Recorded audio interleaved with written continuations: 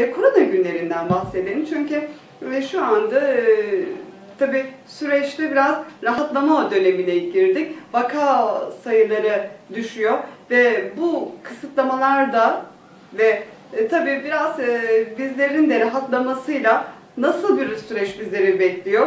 Yeni bir sürece geliyoruz. E, kendimizi nasıl alıştıracağız bu sisteme? Merak eden tüm soruları cevaplarını hocamdan alacağız. Ben öncelikle değerli vakitlerini bizlere ayırdıkları için Bülent Öztürk hocama çok teşekkür ediyorum. Ben teşekkür ederim Esra Hanım. Bu e, hem programınıza bizi dahil ettiğiniz için. E, hatırlarsanız Covid enfeksiyonu başladığı ilk dönemlerde de bir program Evet. yapmıştık. O zaman da olayın ciddiyeti, nelere dikkat etmemiz gerektiği üstüne konuşmuştuk. E, Allah'a şükürler olsun ki bu dönemi güzel atlattık. E, tabii kayıplarımız oldu. Hepsine Allah'tan rahmet diliyorum. E, hem e, bizim tıp camiasından doktorlar, hemşireler, sağlık çalışanları, memurları, e, dan vefatlar oldu ve tanıdığımız insanlar da maalesef kaybettik. Fakat yine de ben başarılı tamamlandığını buraya kadar gelindiğini düşünüyorum. Daha tamamlanmadı da Covid enfeksiyonu yine de eski aktivitesinde olmasa da halen devam ediyor Türkiye'de. E, ama sizin de belirttiğiniz gibi bir rahatlama süreci içerisine girmiş bulunuyoruz. Tabii bunlar ölçülüp biçilen, bakılan, ee, özellikle devlet tarafına zaten çok profesyonel götürüldü şimdiye kadar. Evet, Hem bilim e, insanları, bilim insanları, evet, e, bakanlık e, ve e, halkımız da çok uydu. Gerçekten e, onlar e, eğer bu kadar riayet etmeseydi, tabii ufak tefek televizyonlarda şey gösterildi. Hani kaçamaklar ne bileyim yanlış yapılan şeyler falan ama to- toplumun tamamına baktığınız zaman ben büyük bir uyum gördüm Evet. gerçekten. İnsanlar evlerinde kaldılar ne bileyim maske takmalar falan böyle çok başarılıydı. Şimdi bundan sonra hakikaten e, hep söylenen şeyler ama yine de birkaç noktayı vurgulamak lazım. Bir rehavete kapılmamak lazım. Bu bitmedi. Yani bir e, mucize inip bu bu ülkeden gitmedi. Şimdi yine önümüzde bazı örnekler var. Bizden önce e, bu işi e, başlayan, enfeksiyonu yayılanlar ve bizden önce rahatlama dönemine girenler ve şimdi bazılarında tekrardan e, vaka sayılarında artışlar var. Örneğin İ- İran gibi. E, İran e, bi- biraz davranış şekilleri falan da bizim ülkemize benzeyen e, yani e, yapıları var.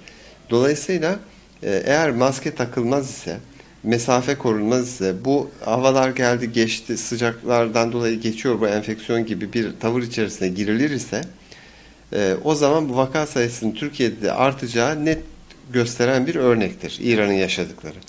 Dolayısıyla bizim bu maske çok önemli. Yani e, bence iyi maskeler e, ama hiç bulunamıyorsa cerrahi maske e, insanlarla mesafenin bir buçuk iki Sosyal mesafenin korunması. Burada tabii bu akılcıl düşünmek lazım. Yani ne bileyim işe geliş gidiş saatlerinde değişiklikler yapılabilir. Çünkü şimdi metrobüsler, e, tramvaylar falan da hep açıldı. O yığılım içerisinde o bir metre, bir buçuk metreyi korumak mümkün değil. E, bunlara hep e, ne yapılacak? Tabii açıldı bu kurallar ama insanların kendileri dikkat edecek. Zaten de dikkat ediyorlardı benim de gördüğüm. Ee, Bence C vitamini açısından kuvvetli beslenmeleri, hatta C vitamini ekstra almaları bu dönemde, güneşlenmeleri, D vitamini immün sistemi kuvvetlendiren şeylerdendir. Ee, ve e, vücutlarını madem şimdi açıldı da ortalık biraz yürüyüşle falan böyle solunum egzersizleriyle o bir enfeksiyona gelebilecek bir şeye hazır hale getirmeleri lazım. Çünkü sağlam bünyelerle bu virüs yenilebilir. Bir de e, bizim elimizde işte e, tecrübemiz, ilaçlarımız, hastanelerimiz falan her şeyde hazırız. Ama bu Türkiye bu yönden kuvvetli diye e, şey yapmamak, gevşememek lazım. Yani vatandaşla toplumda üzerine düşen sorumluluğun farkında olması gerekiyor. Kesinlikle öyle. Yapıyorlar ama bir gevşememeleri Evet. lazım. Biraz daha da devam etmek lazım. Ben yani de bir, bir bitti demeyeceğiz. demeyeceğiz. Daha bitmedi zaten.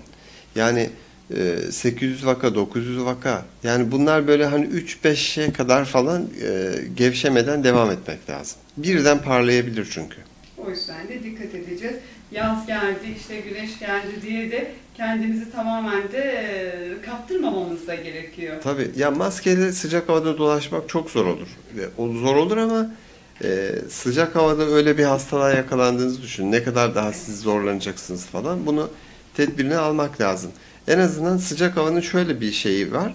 Daha rahat, daha geniş alanlara insanlar dağılabilir, yayılabilirler. Yani kumsallar ne bileyim e, parklar bilmem ne. Burada da işte koşarken e, şey yaparken hep insan yürüyüş yaparken insanlardan normal olduğundan biraz daha uzak mesafeyi kollamak lazım. E, ve e, en ufak bir şüphede hastalık e, gibi bir durumda da hemen acile başvurup ya da gerekli e, 112'ye falan haber verip tedbirlerin erkenden alınması lazım. Ve temizlik noktasında da dikkat etmemiz gerekiyor. Hayır, evet. O- doğru. gerekiyor. Doğru, iyi ki onu da üzerine baskıladınız. Evet, ellerimizi yıkamamız lazım. 20 dakika sabunlayarak. Ee, sağa solu mümkün mertebe tutmadan. Ben çok eldiven kullanılması taraftarı değilim ama o da insanın elinde bir şey oluşturuyor. Ee, farklı bir katman oluşturuyor gibi.